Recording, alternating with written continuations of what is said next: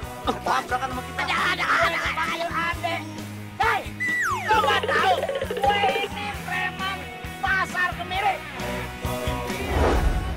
Saatnya kita balas dendam. Orang-orang begini Mayus, digertak dikit juga mereka udah kabur. Kita coba pasang jurus pertama Yus.